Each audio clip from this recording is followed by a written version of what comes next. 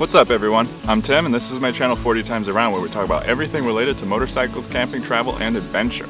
And today we're going to talk about what may be a little bit of a sensitive topic. And as the title of this video suggests, we're going to be talking about listening to music on a motorcycle. And whether you agree with it or not, I think I have some valid points that are worth hearing and considering, but we're going to jump into that right after this.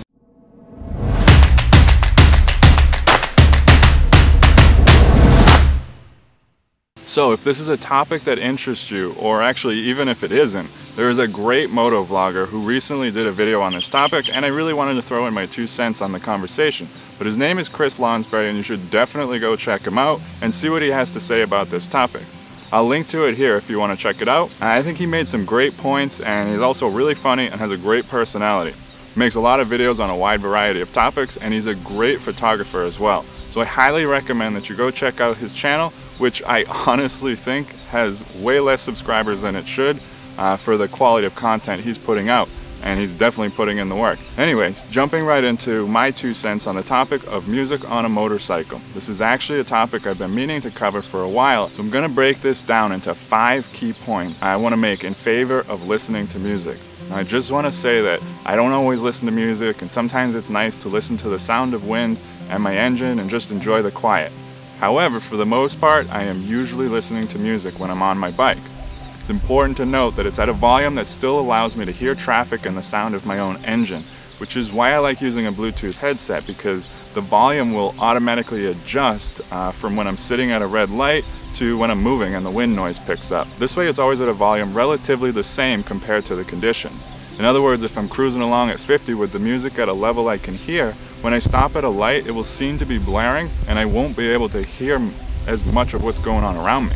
For example, a pair of screeching tires behind me is something I'm going to want to hear before I feel the metal attached to them. Anyways, the five points I want to make will be on why I personally listen to music on a motorcycle.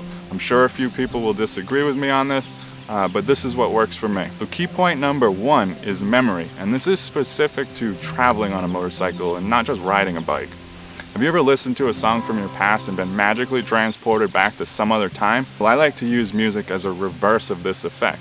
I choose specific and new to me music for a long trip and then it becomes a soundtrack for that adventure. To this day, if I listen to Silversun pickups, I can see the road unfolding in front of me across the Great Plains as I rode into the sunset toward what would be my first visit to South Dakota, and many other memories from my first big trip will just come rushing back to me.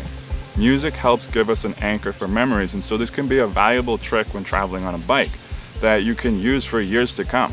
It's great because that trip lasted two months, so I really got kind of tired of that music and I stopped listening to it as much. But every once in a while, I'll hear a song come on the radio and it just propels me back to moments from that trip. It'll help solidify memories, or at least it does for me, so that's key point number one. Number two is that it quiets the mind.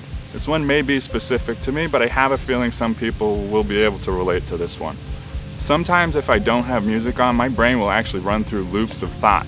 Maybe I have a problem at work, for example. As I'm riding along, my brain will go through all these scenarios and play these movies in my head, going over all these possibilities that'll never happen, trying to predict every possible outcome of a decision I might have to make or whatever the case may be.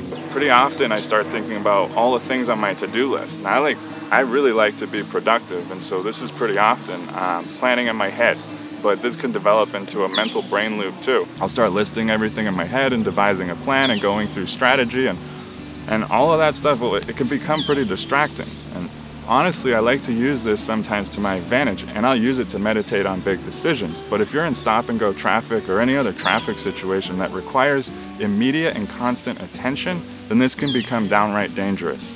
It's okay if I'm on an empty two-laner to drift away with my thoughts once in a while, but if I need to focus, then I might need a way to quiet my mind, and music can be really great for that. Like I said, maybe that's just for me, but this does work for me when music is used as a background noise to kind of neutralize any deep thought. I have an active mind, so I actually use it for this purpose a lot. Okay, the third point is that music can be used as a tool. It can alter your mood, for example.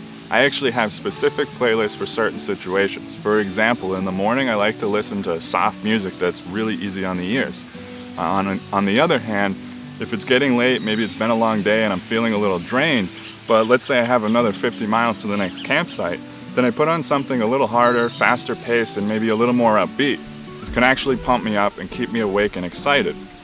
Sometimes towards the end of a big trip, I can start to get kind of sad, believe it or not, and music is a great way to put myself in a good mood again and kind of pull me back to living in the moment again, and instead of focusing on the end of a good trip. It can also motivate and inspire too. Uh, this can take an average moment or even a really good moment and magnify it into something incredible if your favorite song is playing. My suggestion is that you start taking a mental note of how certain music affects you and pick music that serves a certain purpose on the motorcycle. I used to listen to a lot of heavy music that was really aggressive and I would just always listen to that on the bike and I realized it was actually affecting the way I rode. It actually made me ride faster and more aggressive. Now I avoid that unless it's the end of the day and I'm using it to pump myself up. I tried listening to Dave Matthews because they thought that that would be great music for riding and it would keep me even keeled. Now I'm not knocking Dave Matthews Band if you listen to them, but that in particular just was kind of too relaxing for me and it would almost sedate me. Now pay attention to how music affects you like I said because this can be different for everyone. What helps me concentrate may be distracting to you and what you find relaxing might make me anxious. Music is a powerful tool if it's used as one. To further that point with this next tip, tip number four, music can help you pass the time.